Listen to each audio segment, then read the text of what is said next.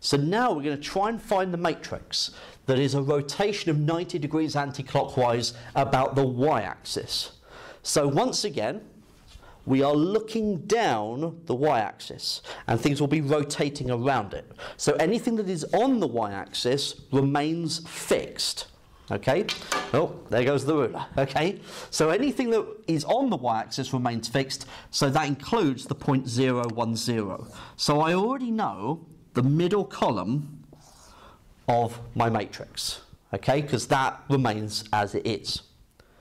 So if I'm looking down that way, what I'm seeing is my x and my z in this form. Here is 1, 0, 0. Here is 0, 0, 1. So if they are rotating 90 degrees anti-clockwise about the y-axis, then this point here is going to rotate round to that point. This point will rotate round here. So the x, so 1, 0, 0 will go to 0, 0, minus 1. and 0, 0, 001 will go to 100. And so this is the matrix that represents a rotation of 90 degrees anti-clockwise about the y-axis.